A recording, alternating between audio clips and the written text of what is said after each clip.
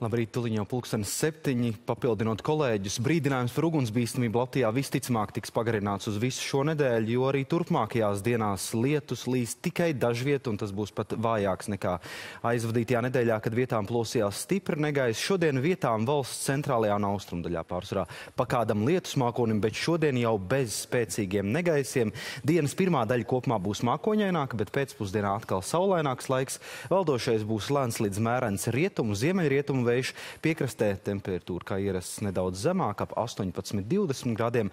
Pārējā valstī lielākoties 21-25 grādi. Rīgā vēl tuvākajās stundās diezgan daudz mākoņu, arī kādā brīdī pavisam nedaudz līs, bet bez negaisa.